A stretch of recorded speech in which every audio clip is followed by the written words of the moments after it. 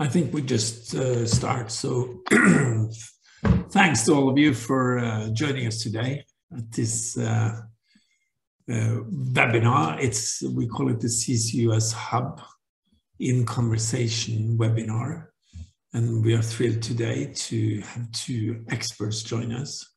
And the topic is um, we will be looking particularly today at how the um, US Department of Energy is scaling up CCUS and carbon removals.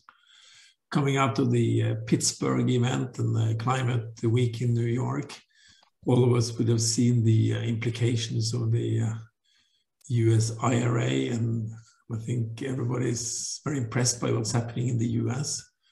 And it's going to be a very important set of you know inspiration frames for the industry to work on CCUS going forward. So I think we're very fortunate to have uh, Jennifer Wilcox with us today and also Jarad Daniels. I can think of two, no two more experts to take us through this. My name is Bjorn Otto Sverdrup. I'm the chair of the executive committee of OGCI. And um, I'd just like to say to you, Jarad, uh, hand it over to you and why don't you guide us through this uh, webinar. And thanks to both of you and thanks for all of the nearly 100 people joining us already. Thank you. Uh, thank you, Bjorn Otto, and, and let me add my welcome to the, the first CCUS uh, Hub webinar as, as well. Um, we've got a, a great hour uh, in store here in terms of uh, just a quick introduction from myself, uh, presentation from Dr. Jen Wilcox for 15 or 20 minutes, followed up by a, a nice discussion. We'll have plenty of time uh, for audience Q&A as well, and we'll end promptly on the, the hour. So as, as Bjorn Otto mentioned, uh, again, I'm Jarad Daniels. I'm the CEO of the Global CCS Institute, and we're one of OGCI's partners on the CCS Hub platform. I'm, I'm excited and delighted to be uh, with you here today and with Dr. Jen Wilcox to, to have a conversation on CCS and the tremendous work that, that she and all of her colleagues at the US Department of Energy have been leading as part of the Biden administration's focus on, on climate change mitigation broadly. Just yesterday, the Institute released our global status report of 2022, which highlights the current status of CCS globally. It's available um, free to all on our website to download. I invite you to download a copy um, if it would be of value to you, and, we'll put that um, address in, in the chat function here. I'd just like to provide just a quick summary to help set the scene um, for our discussion here today with, with Dr. Wilcox. Globally, it's been an exciting year for CCS. Our report finds that in the past 12 months, the CO2 capacity of all the CCS facilities under development has grown to uh, 244 million tons per annum, uh, which is an impressive growth of 44% um, year on year.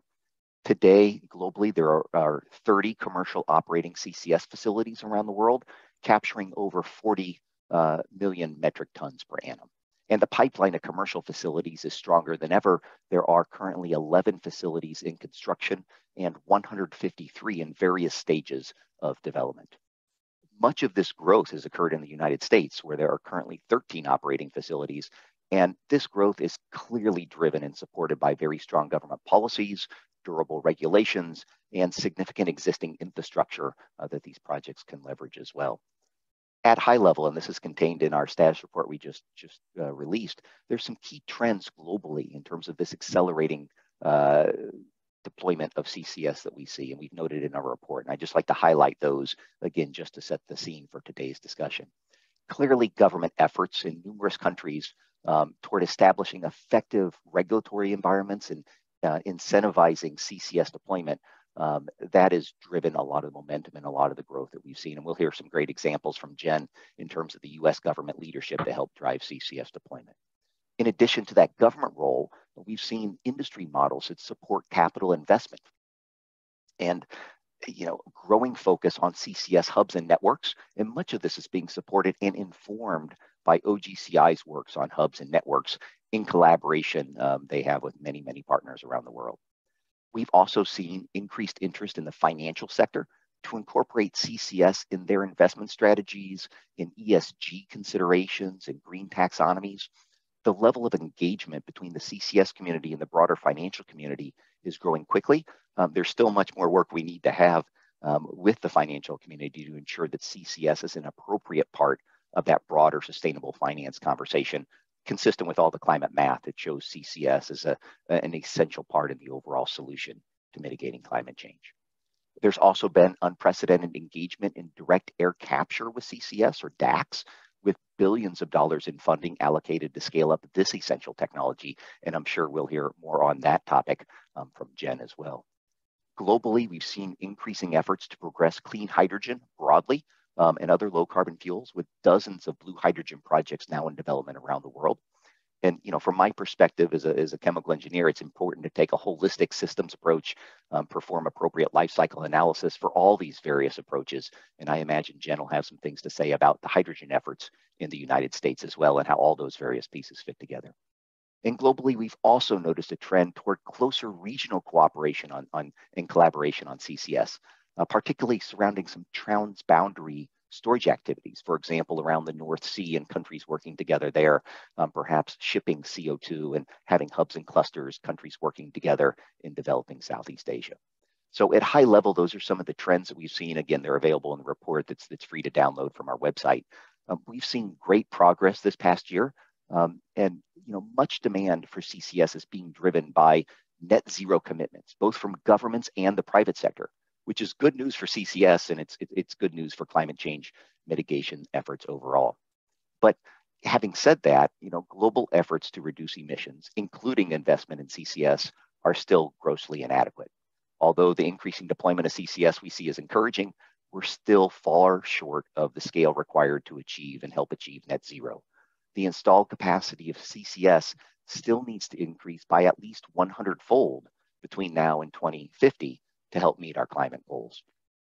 This is a Herculean challenge, but it's achievable if we all work together. Reaching the required scale for CCS will require government action, governments to put in place supportive policies. The private sector and industry is going to need to build, own, and operate these CCS facilities at relevant scale. And the financial sector is going to need to come together um, to help provide the capital required um, for, for this capital intensive equipment we clearly all need to work together to do this at commercial scale now as we continue to advance the technologies through learning by doing and as academia and industry and all of our fine research institutions continue to innovate and continue to advance uh, the technologies. These, really need to be on parallel paths. We need to begin um, this deployment, accelerate this deployment with the technologies that are available now we all have a role to play. I am honored to be here today with Dr. Jen Wilcox to discuss um, her role and DOE's leading role to advance CCS deployment, both domestically in the United States and globally working with all of the DOE's international partners. So with that as hopefully setting the scene in the, in, in the context, I'd like to introduce Jen Wilcox and then hand the, the, the conversation over to her for her presentation. Jen is the Principal Deputy Assistant Secretary in the Office of Fossil Energy and Carbon Management at the US Department of Energy. She is currently on leave uh, from a presidential distinguished professorship at chemical engineering and energy policy at the University of Pennsylvania. I am a firm believer that we are all products of our upbringing and our environment. And, and Jen, having grown up in rural Maine, um, has a profound respect and appreciation for nature. And, and that's really driven her focus on environmental issues throughout her career. For example, as a senior fellow at the World Resource Institute, um, she led WRI's carbon removal program. Dr. Wilcox has a PhD in chemical engineering, uh, an MA in chemistry, uh, a BA in mathematics. Her research takes her at the, at the nexus of energy and the environment, developing both mitigation and adaptation strategies to help minimize negative climate impacts associated with our dependence um, on, on fossil fuels. She's uh, served on various committees, including the National Academy of Science and the American Physical Society, to assess carbon capture methods and impacts on climate She's also the author of the first textbook on carbon capture entitled Carbon Capture, which was published um, a decade ago in March of 2012. She's co-edited the CDR primer on carbon dioxide removal uh, in 2021, and that, that resource can be uh, found online. So with that as an introduction, it's an absolute pleasure to, to welcome Jen here today to provide her presentation. Um, again, after that, we'll have a nice, healthy discussion. We will have plenty of time for uh, Q&A um, there is a Q&A channel here on, on the Zoom platform. Um, so please send those questions our way and we'll get started. So with that, Jen, over to you, please.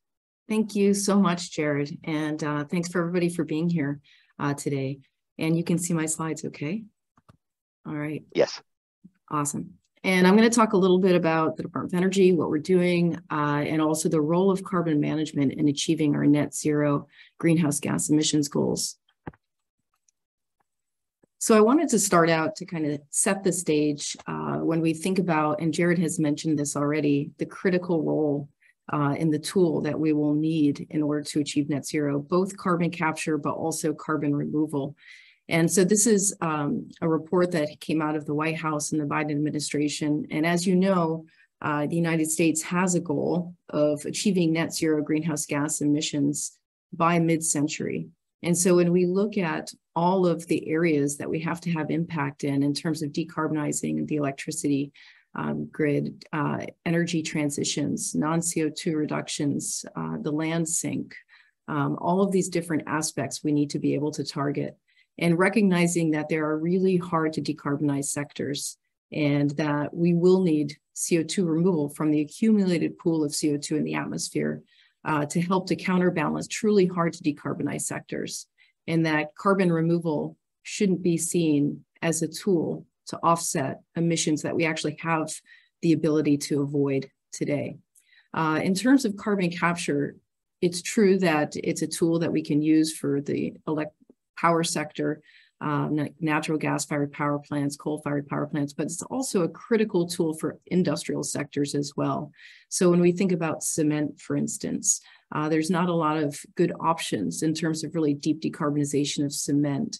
And when you think about cement, it's a combination of a chemical reaction where we calcine limestone. And so that chemical reaction produces CO2, and those are called process emissions, but it's combined with fuel uh, emissions as well.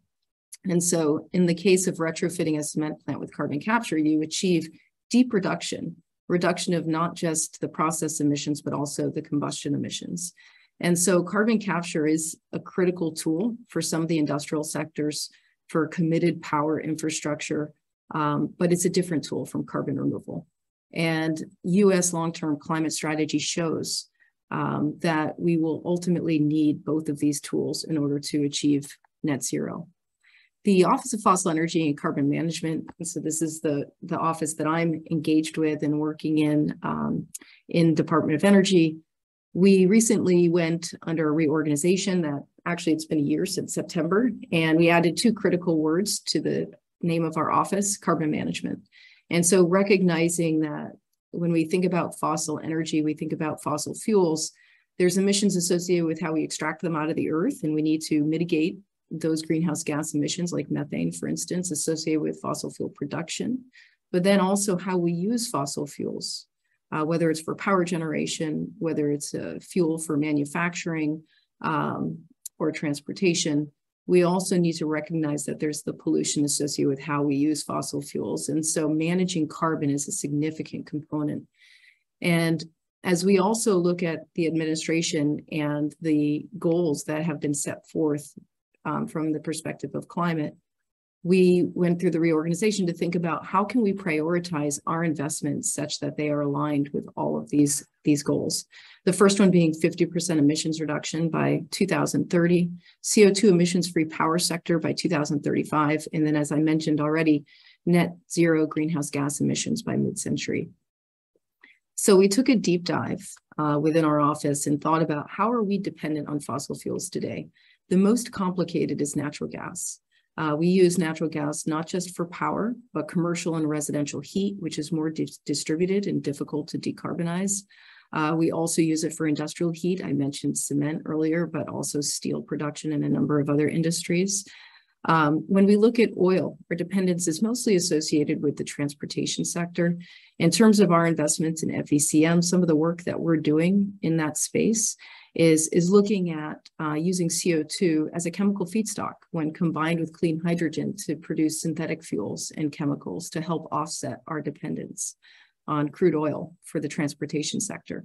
But we also recognize um, within that transportation sector that there are there are different paths. So when you look at passenger vehicles in the United States, there's a big push to looking at an electric fleet. And then, of course, doing our best to decarbonize um, the electricity sector with the goal of 100% clean electricity by 2035. But some of the pieces of the transportation sector are harder to decarbonize. For instance, when we look at aviation, we look at shipping and long haul trucking, these are harder to decarbonize sectors than the passenger vehicles and, and thinking about electrification of the passenger vehicles. When we look at our dependence on coal in the United States, it's primarily power generation. And so when it comes to power generation of both natural gas and coal, we're thinking about this in, in a really responsible way. We're looking at what are existing units that have pollution controls in place uh, because it's not just about CO2 and methane emissions associated with supply chains, it's also about co-pollutants.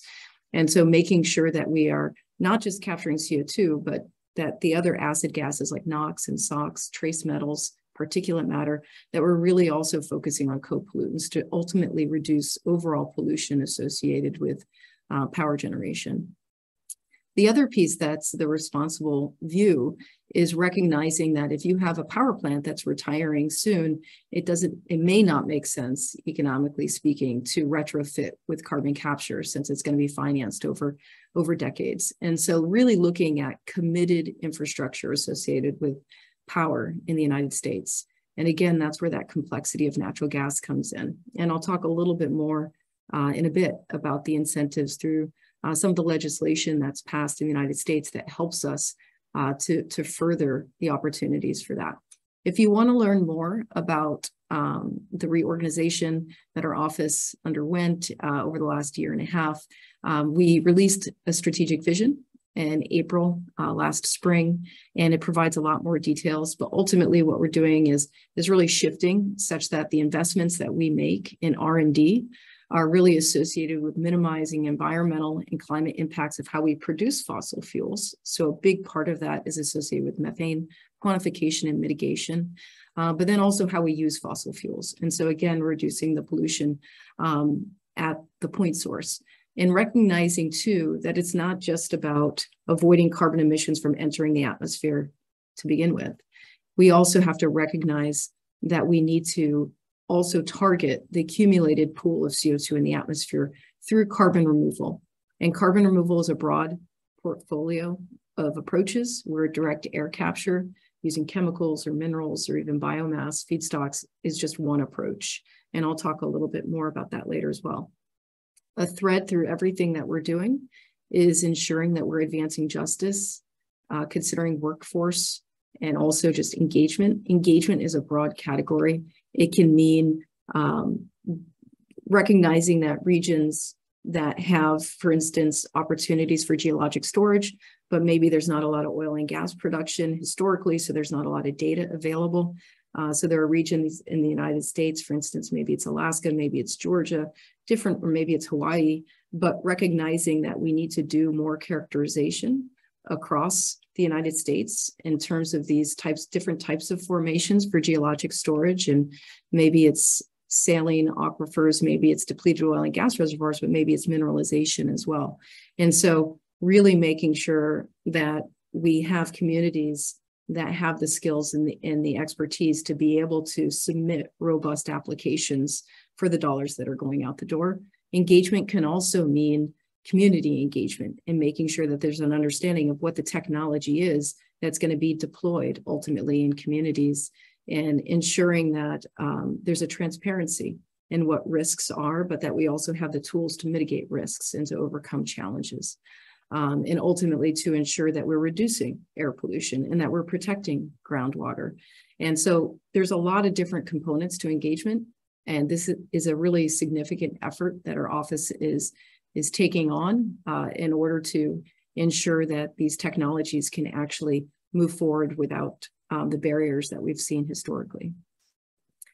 And so when we look at um, the funding and and I'll talk a little bit more in detail now, uh, all of the carbon management projects that that we are funding are really advancing equity and justice for communities. In fact, there's four priority areas uh, with dollars that are going out the door, um, in many cases, the appropriations dollars that are more on the scale of front end engineering design studies uh, that lead to demonstrations. So at that scale, but also the infrastructure law dollars, which are all really mostly demonstration scale dollars. There's four key components that will make up what's called a community benefits plan. Um, one component is that community and stakeholder engagement. Another is the inclusion of diversity, equity, uh, inclusion and accessibility. Uh, Justice 40 initiative. So this is um, what this is is is really a program in this administration that started, and it's looking at all of the investments that we're making. 40% of those investments leading to benefits to disadvantaged communities. Uh, and so Justice 40 initiative. And then finally, quality jobs and making sure that there's a work plan.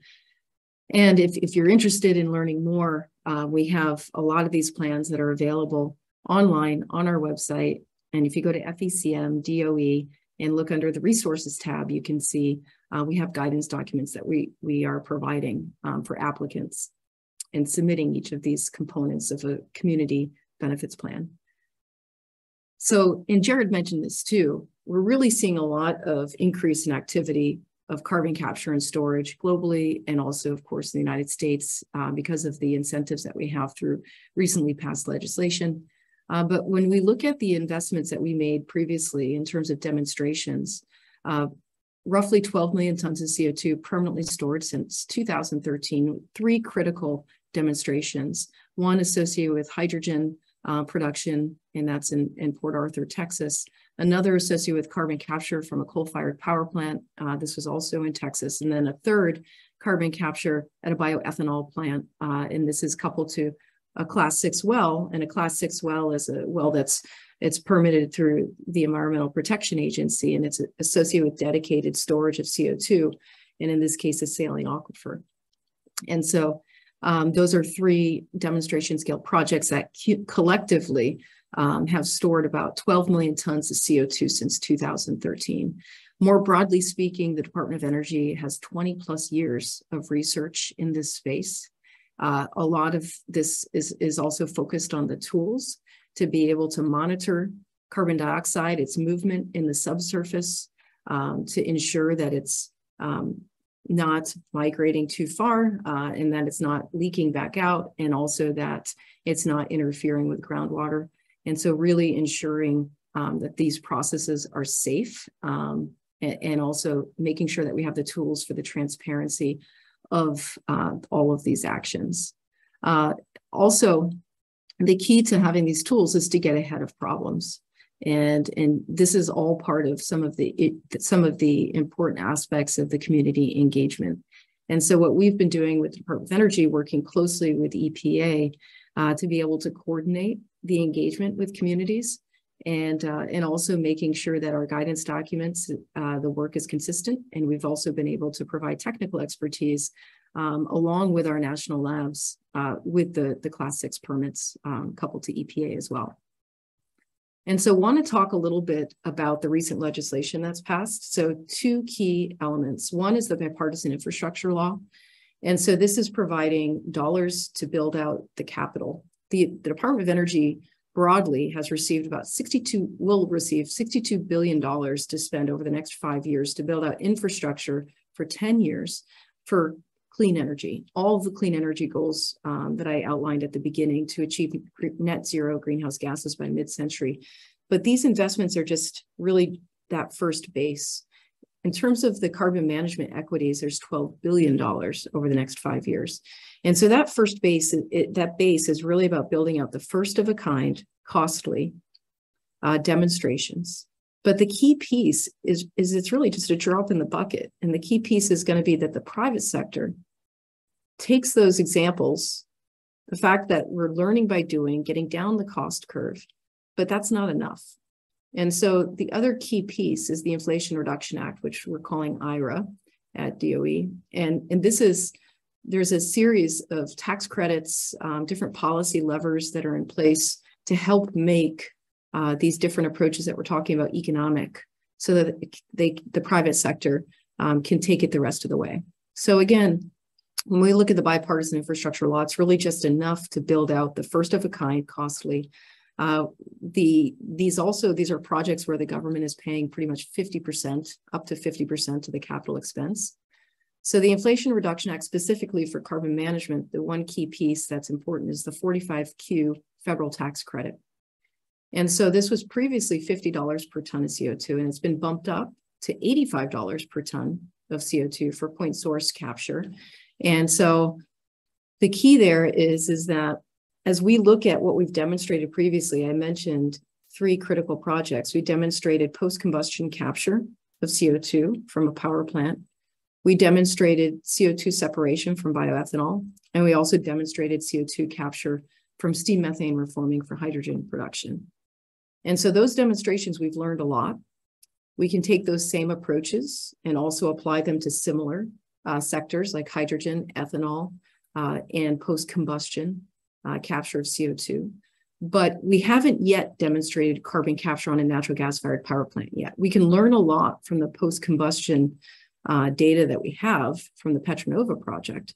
But natural gas exhaust is more dilute than a coal fired power plant. Coal fired power plant's concentration is roughly between 12 and 15%. The exhaust of a natural gas fired power plant is roughly between 3 and 5%. But the same type of technology can be demonstrated for natural gas. But the key is, is to do those demonstrations, to get them off the ground, and also to be transparent about the costs and demonstrate that the technology works ultimately at the end of the day. And so through the bipartisan infrastructure law, those first of a kind demonstrations are going to be built. The costs will be transparent. The second, the third, and the fourth of a kind, we have the loan programs office at DOE, but we also have the federal tax credit. 45Q at $85 a ton. And there's also um, a significant bump up for direct air capture coupled to dedicated storage, again, a class six well. And this is $180 per ton of CO2. Another important piece is that the minimum project size has been reduced to 1,000 tons for both of these cases. And so that's critical because what it means is not just large units can apply. Uh, it means that many different units, and they're not limited by the scale of their emissions. So over the next five years, $12 billion in the form of grants, loans, credits, in order to really build up uh, this baseline infrastructure. So the expected development is six carbon capture integrated demonstration projects. So what that means is the carbon capture is integrated with the geologic storage and several new small scale pilots. By law, those six carbon capture demonstrations. Four are going to be associated with the power sector, two on coal, two on natural gas, and two that will be industry. Uh, through this funding, we also have four direct, at least four direct air ca capture hubs that will be funded, 100 plus new dedicated CO2 storage wells. And then in terms of pipeline infrastructure in the United States, we have roughly 5,000 miles of CO2 pipeline today, and we're expected to double that uh, through the new um, programs that are associated with building out the transport for, for CO2. We're also looking at not just pipelines, but we're also looking at moving the CO2 by truck in some cases when the scale is smaller or it's distributed, um, which may be the case for some of the direct air capture uh, opportunities. We're also looking at rail transport and, and of course, uh, freight transport. Want to also point out the distinction between Point source carbon capture and carbon removal, these are two very different tools.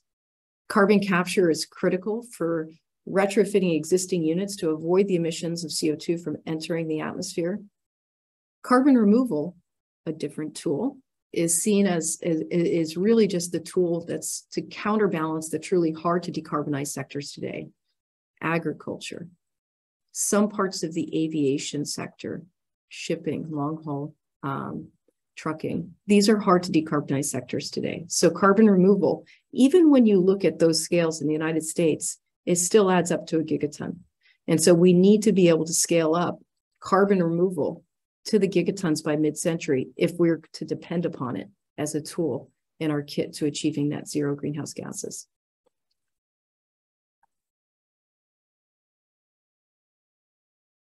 And so this is that bottom up calculation. Again, this is US centric, but looking at those hard to decarbonize sectors, you know, in the United States, we, we emit every year roughly six gigatons of CO2. So when you add up those hard to decarbonize sectors, it's still over a gigaton. And so we're at thousands of tons of removal today. That's six zeros in less than 30 years. So we need to be investing in multiple approaches in parallel. Um, because if we don't invest today, we will not get there in time. Wanted to also mention uh, a lot of times it's it's it's a little confusing. Direct air capture is energy intensive um, as one of the approaches to, to carbon removal. Um, but there are creative ways that we can think about it. And this is an example where the Office of Fossil Energy and Carbon Management made a number of awards on front end engineering design studies where direct air capture is coupled to existing utilities. And these are utilities uh, today, like for instance, geothermal and nuclear. Um, in the case of geothermal, when you think about a geothermal power plant, geothermal power plants have a condensing unit to maximize efficiency. The working fluid goes in at one temperature, a higher temperature, comes out a lower temperature before it's injected back into the earth. One could envision the direct air capture contactor being the condensing unit, especially for solid sorbent based technologies like the work of uh, like the work of Climeworks, for instance. And so in that case with solid sorbents, you can use the quality of heat can be 100 degrees, maybe even lower. And so if you have a a condensing unit where or a direct air capture contactor and your temperature at the inlet is 80 and it comes out at 60 that's a way to regenerate your material in terms of your direct air capture contactor and so it's not a matter of it's not a question of am i producing power or am i doing direct air capture? In that creative way you're actually doing both and you're integrating these systems. Uh, when it comes to nuclear oftentimes you know nuclear of course is built to run 24 7 in the grid, there needs to be a flexibility in that the grid may not always need those electrons 24 7. Oftentimes, you see nuclear coupling up to hydrogen production.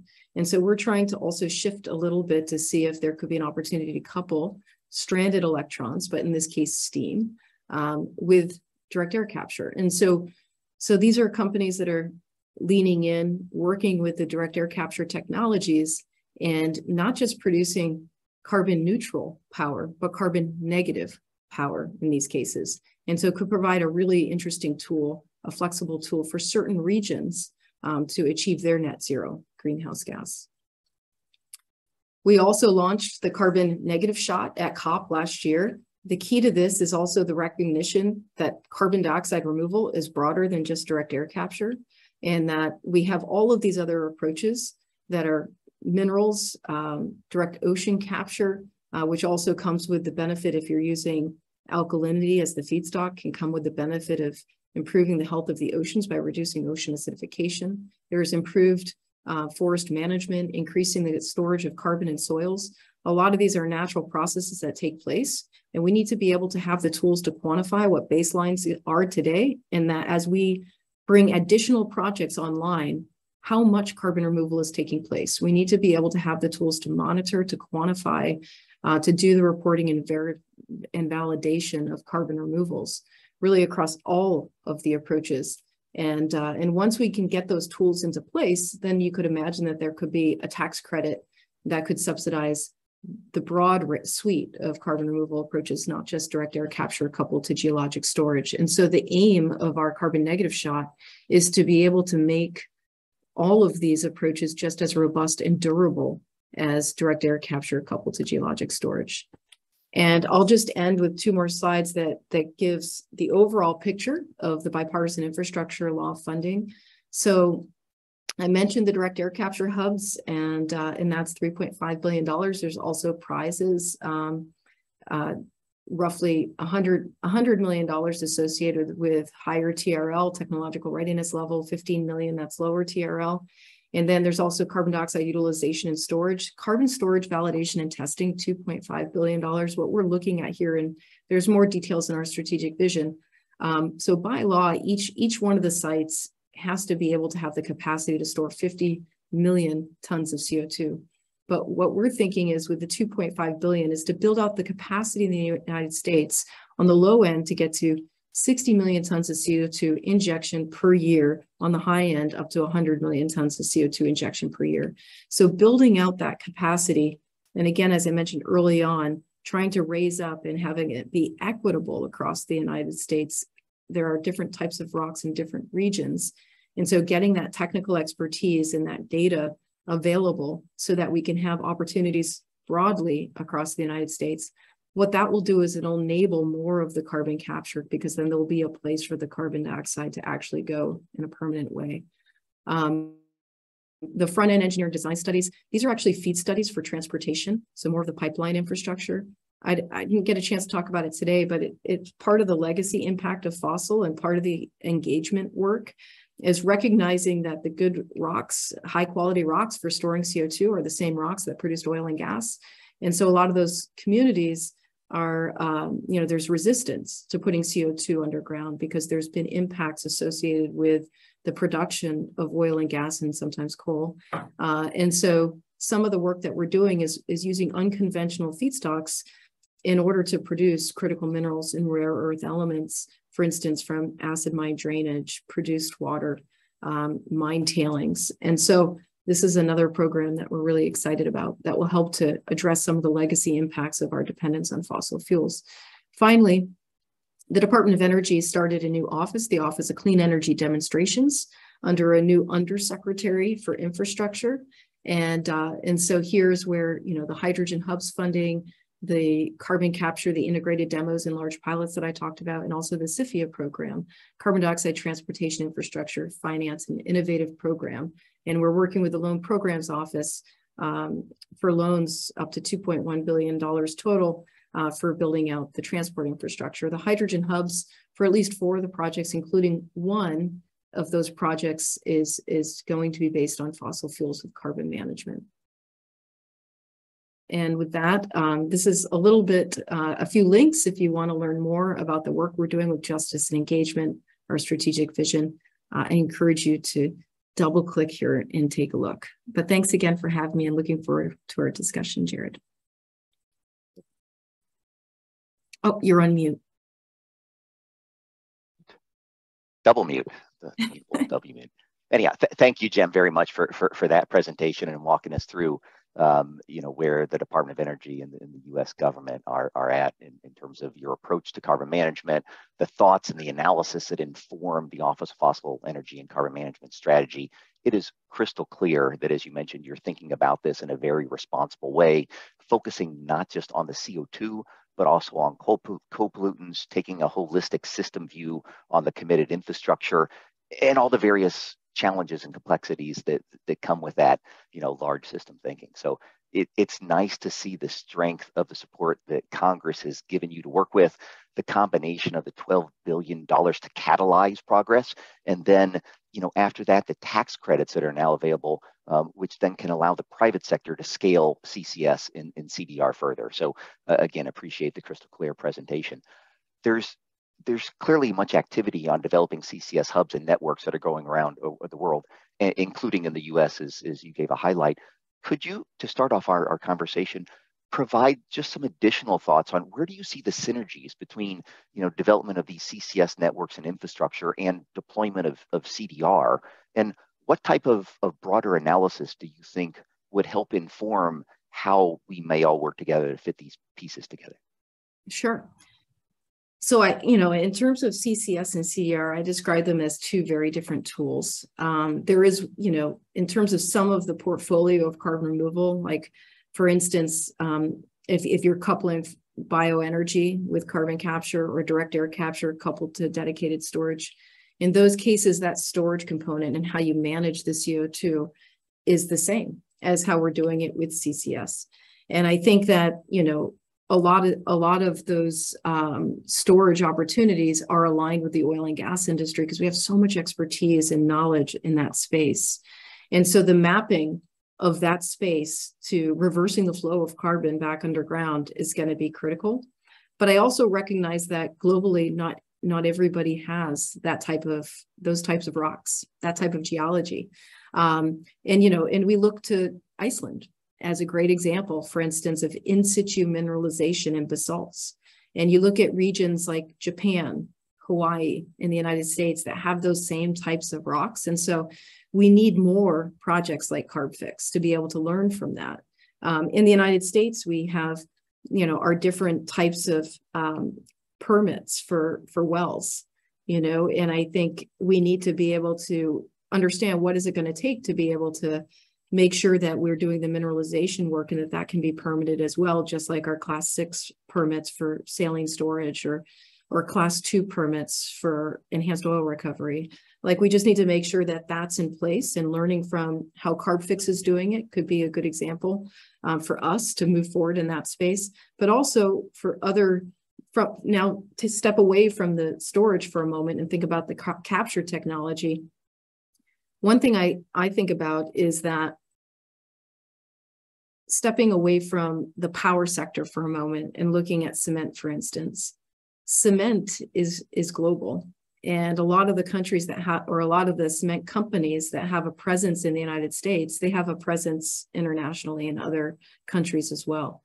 And if we're demonstrating a technology for decarbonizing cement in the United States, we should be able to leverage that technical understanding and learning to be able to do this in an accelerated way in other nations.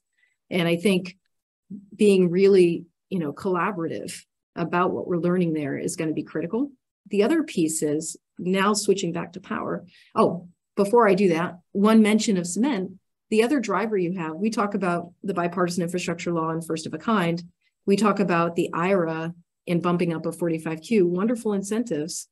But how about the market today, the voluntary the customers that would like to have a low carbon supply chain, you know, for building and construction, whether it's cement, whether it's concrete, steel. And so the other piece that you're doing when you're decarbonizing these sectors is you're you're supplying that low carbon supply chain that data centers want to be able to, you know, like if it's, you know, and so it's really important to recognize that other lever that you have. With the power sector, that's a little different because it's very regional. You know, it's the consumers, and you don't want to make the consumers have to pay for avoiding the pollution, you know, and so these incentives are so critical to make these approaches economic for the power sector.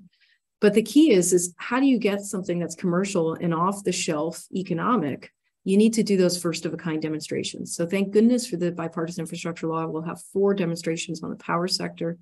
And to me, it's like again, those technologies, ultimately, those chemical companies that are allowing and enabling that decarbonization of the power sector, we can learn from that so that other nations that are going to be continuing to depend on fossil fuels, maybe in a bigger and a greater way for longer, can adopt those approaches because we paid first, you know, for those first of a kind expensive.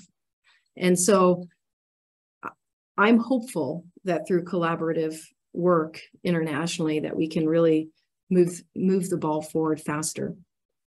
Yeah, that, that, that sounds great. And, and, again, that's a big part of what I did when I was there at Department of Energy and in my yes. current role here at the Institute. And, you know, I, I know it's it's an exciting time here and it's a it's a busy time, right? DOE recently hosted the, the Global Clean Energy Action Forum in Pittsburgh and, you know, several thousand participants from a number of countries all across the, the, the low carbon and, and climate mitigation space.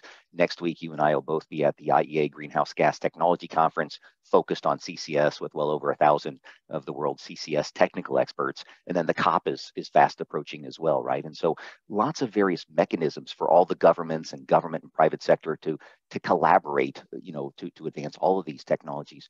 From, from your perspective and maybe leveraging what you just mentioned in terms of not just the opportunity, but the need for all of us to work together and to leverage investments in country A to help accelerate um, progress in, in countries B and C and D where, where do you see the most need and still the most opportunity for that international collaboration in maybe two ways. One, at a technical level, how can we best cooperate and collaborate technically to continue to advance these technologies?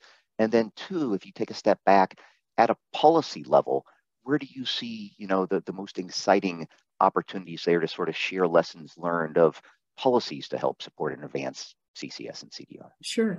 I mean, I think from a technical perspective, it would be it would be really good for us to be able to collect the data, you know, and um, and leverage universities and researchers.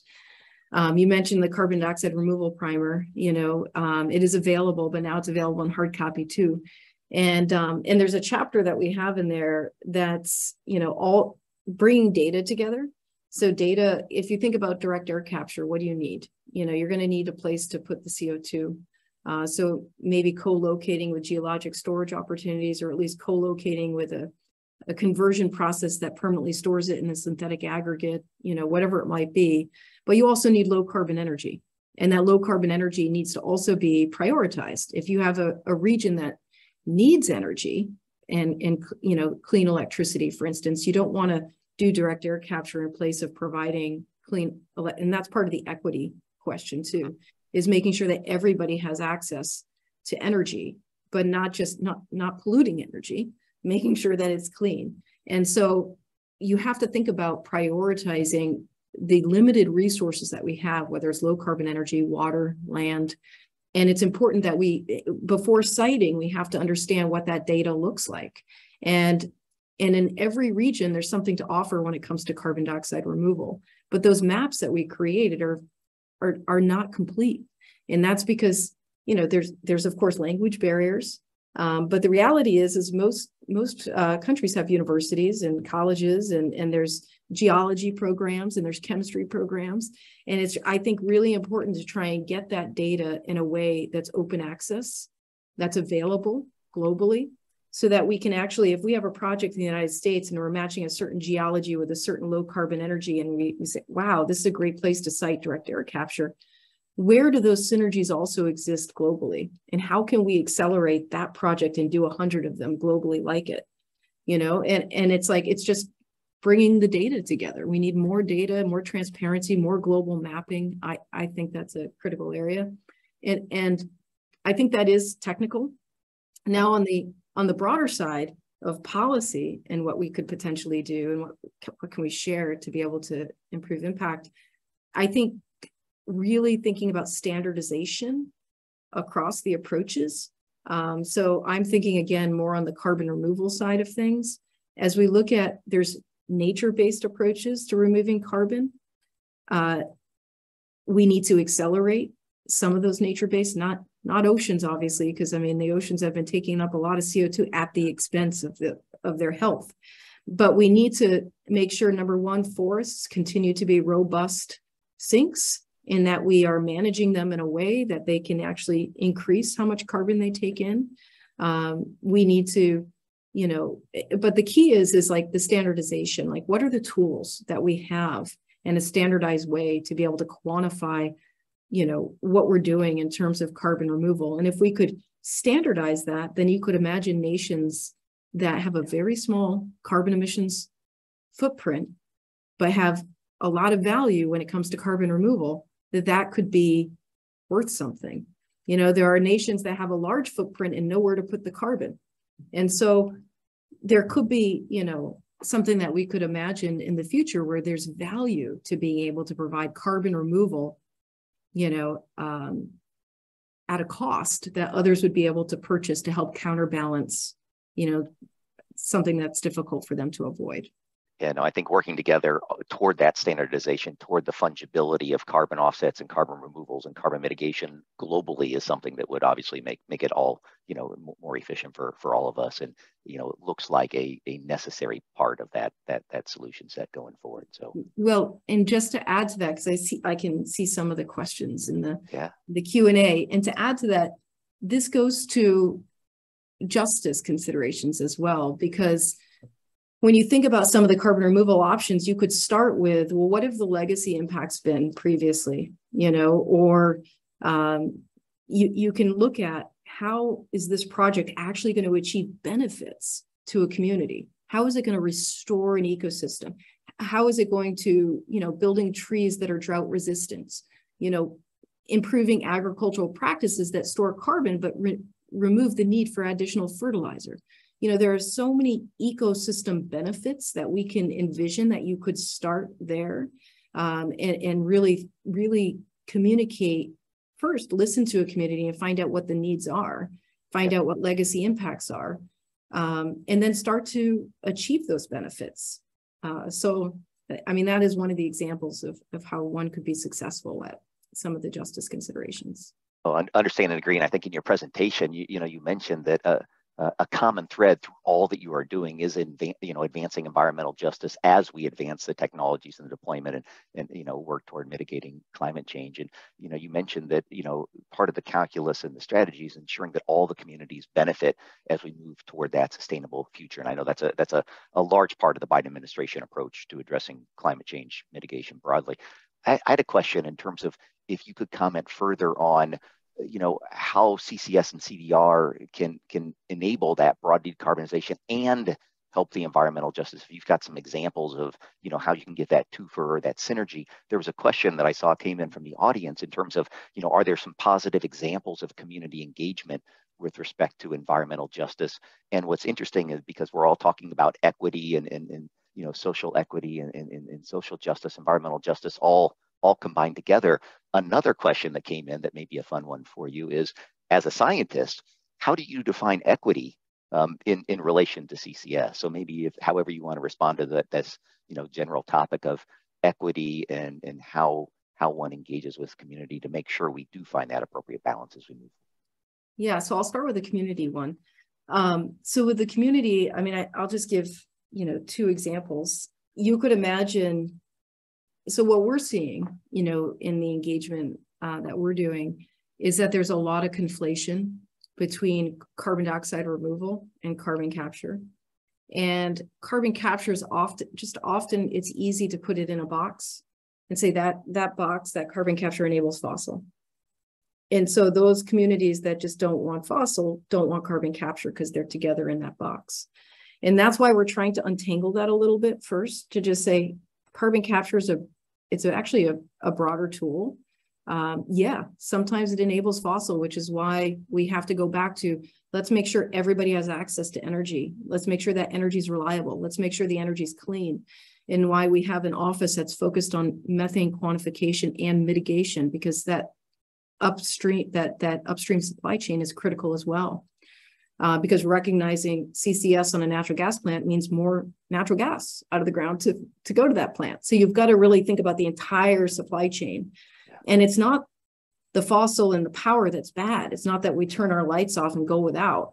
It's that we have tools. They have not been incentivized in the past. They have not been economic for industry to adopt. We're in a position now through the bipartisan infrastructure law to build out the capital, We've got the policy incentives in place to make them economic. So we have an opportunity, a once in a life opportunity right now to clean it up so that folks have access. Um, but the reality is there's that history and there's that box, and that's how it is coined. And we are trying to untangle it, but that is the reality. And so if we go into a community that feels very strongly in that way, and here we are saying, yeah, but the CO2, we got to manage it. We're going to put it back into the rocks, you know? And if they say no, you know, when we look at the community benefits plan of our broader application, it's 20% of the grade. And so if a community is pushing back on it and you're an applicant and you're a developer and you're trying to build out that community benefits plan and you're not getting any traction, probably the there's going to be a, some veto power there. You know, if the community doesn't want it in this administration, it's in in one of those six projects, it's not going to go there. You know, and so there's there's one clear example of just like you don't want it, we'll move on. You know, yeah. Um, a positive example, though, I mean, because I think that that's unfortunate. You know, and I think a positive example would be take direct air capture, for instance, and recognize, and this is in chapter three of my textbook that I wrote 10 years ago. Um, it's chemistry.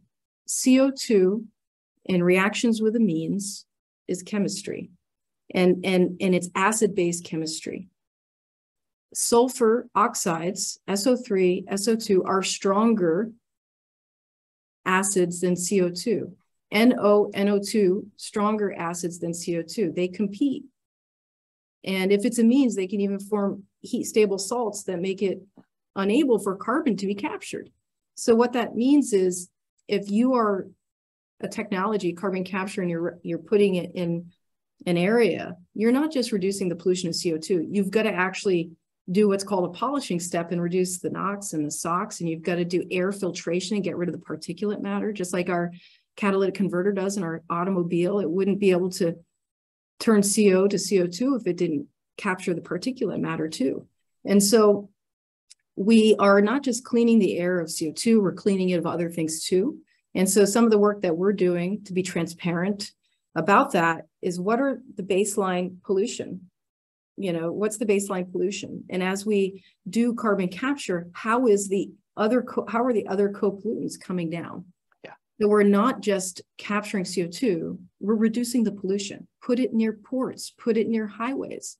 And so there's significant co-benefits to direct air capture. And so just trying to untangle the conflation between all of these things is, is critical. So those are a couple of examples. Yeah, no, I absolutely agree. And I think, you know, as, as part of the global CCS community, um, we've just scratched the surface in terms of how do we identify and analyze and then communicate what those co-benefits are as you just gave a couple of examples right of how can we this is clearly a technology enabled solution right to balance our environmental footprint climate change mitigation with providing energy and energy services. It's only been several years where globally we've gone down to less than you know a billion people that don't have access to modern you know energy services that, that we all appreciate here. And so how we balance this together how we can find synergies of, of uh, again, how we deploy these technologies, how they all work together, absolutely critical. And, and again, really, really uh, appreciate hearing from you in terms of the, the DOE's and the US government's leading role in this area. Seen a lot, you know, we've got a couple of minutes left here. Um, a lot of progress. You've got $12 billion to work with now. There's a great new IRA law that will help support all forms of, of low carbon technology deployment in the States. And you talked about how you can leverage that, you know, globally working with partners uh, as, as we proceed. A final question though, there's there's got to be some pitch points, some barriers, right? It's it's not all roses, right? There's still many challenges going forward. And so just in a minute or two, from your perspective, could you just just for for folks' awareness, uh, just provide a high level overview of what, what's still on the critical path? What are the key issues that you and your colleagues are working on and addressing um, that we'll need to find a way to work together to overcome um, to get this to where we want it to go? You know, I, I think of this question as what are the barriers? Yeah. You know, and this is a, a standard catalysis problem, right? it's like, and I can't help it because we're both chemical engineers. Um, but it's like, what are the barriers? And and how do you in catalysis you know you either you find a different path over the mountain you know one that's shorter has you know and so i think there's a lot of ways to get to where we want to go um, but we don't have time you know and we're out of time and i think one of the critical barriers is what we've been talking about and that's the engagement piece. And i think it's what would be great is if we had more opportunities for education. Um, you know, I I'm envisioning like an ambassador program, you know, where it's like you get local stakeholders that are trusted by the communities um, that we can help to have the facts, the facts about carbon capture technologies, the facts about the monitoring and the tools that we've been investing in for 20 years and using and depending for these projects that you, you outlined in your introduction at the beginning. Um, facts about carbon dioxide removal, just really facts based on science, you know, and grounded in science, and having that messaging be consistent and and recognizing that every region is different every region is going to have a different set of concerns and can we try to bucket some of those concerns and have consistent messaging um, to those communities because that's a lot of the barrier that i'm seeing and oftentimes it's not even grounded in science and it's and it's it's as an educator as a professor uh, it's it's it's disheartening and i just feel like we need more. We need more education we need more people we need uh, so that's to me one of the biggest challenges right now yeah, no, and I, I, think that's a great, you know, summary to, to end our conversation on. We're coming up right on the hour, but again, clearly an opportunity for all of us to continue to work together uh, to do exactly what you just mentioned, right? To get us from where we are to where we want to be, um, and, and, and clearly a technology-enabled path where CCS and CDR um, are, uh, are an essential part of that solution. So um, with, with, that, I think for, for in the interest of time, we're going to have to call that a day. Jen, it's been an absolute pleasure um, to have this conversation with, with you here today. Just a quick note for, for all the folks in the audience, OGCI's next webinar will look at um, work in the UK, the East Coast cluster in the UK, and its role in industrial decarbonization. OGCI have Andy Lane, who runs the cluster, and uh, Philip Aldridge, who represents the chemical industry in the regional conversation there. They're working on an exact date um, for the next, next webinar under this series, um, but as soon as they, they nail that down, invites will go out soon, so keep an eye open uh, on your inbox. Um, and with that, again, thank you very much, Dr. Jen Wilcox, um, for you. your presentation. Thank everybody for your, your time and participation with us here today. And uh, stay healthy uh, and goodbye for now. Take care.